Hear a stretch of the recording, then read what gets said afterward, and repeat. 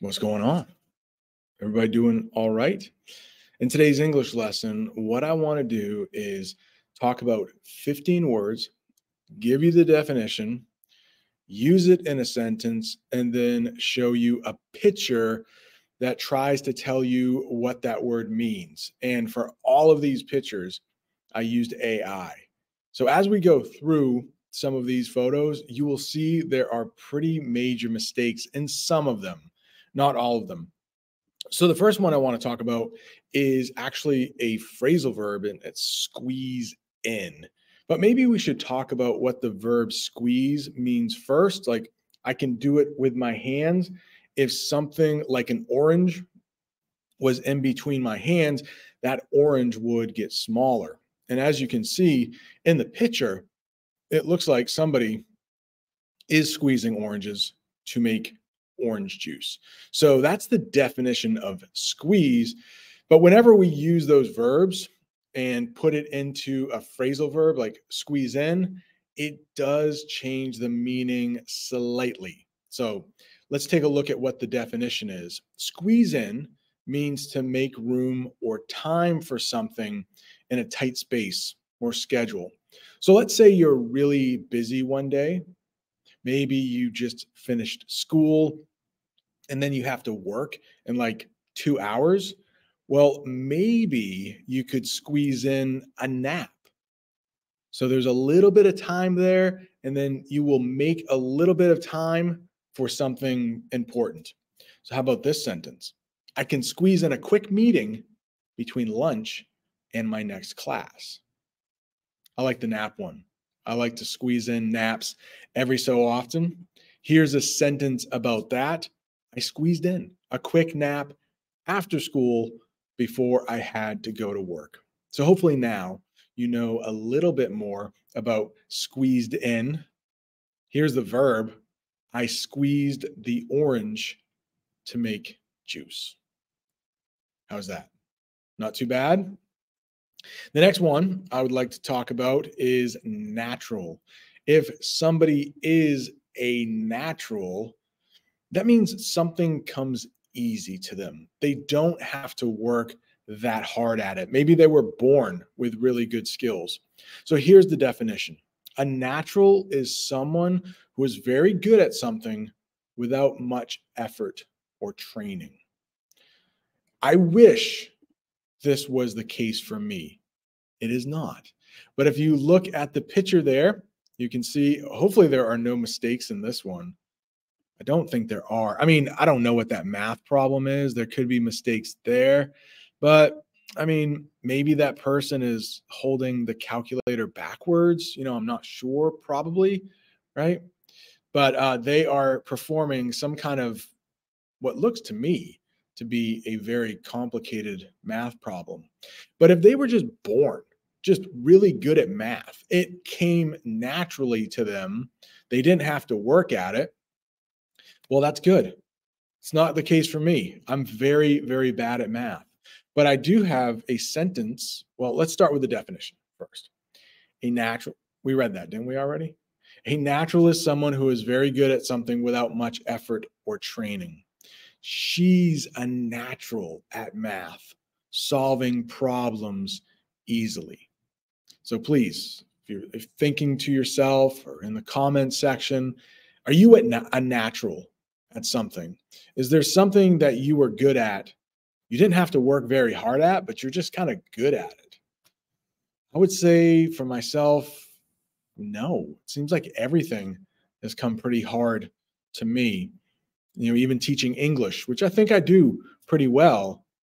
I mean, I've been doing it for 20 years. So it's definitely not a natural thing for me to teach English. How about this one? Audition audition. An audition is a tryout for a role in a play, movie, or other performance. Let's make that picture a little bit bigger. This person looks like they have some judges on stage. Behind them, this is a weird setup for uh, an auditorium where you might give this performance but there is clearly a person on stage, looks like they're singing, and there are judges. But in the background, like there are people watching from both sides. So AI might have messed up a little bit, but hopefully that makes sense. Like if you want to have a part in a play, you have to audition in front of people and they will either say, Yeah, you're good for this part, or no, we need somebody else. So here's a sentence using audition. He went to an audition to get a part in the school play. AI doesn't look too bad, but if you think about it, like why could there be people sitting on both sides of the stage? There really isn't a backstage there. Moving on. The next one is conflict. Conflict. So, a conflict is a struggle or disagreement between people or ideas. And you can see right here, maybe there are brothers in that picture. Maybe they're just friends. I don't know. They look like the same person. Maybe they're twins. One is clearly a Monopoly fan because they even have a t shirt with the game Monopoly on it and they are holding a box. They want to play Monopoly, but the other friend or the twin wants to play Uno and he has a bunny on his shirt for some reason. But if you look in the background, there are Uno cards on the table. So you can also let me know which do you like better, Uno or Monopoly? I have to go with Uno just because it's a, it's a quick game and sometimes Monopoly takes too long and I get bored. But here's a sentence using conflict. The two friends had a conflict over what game to play.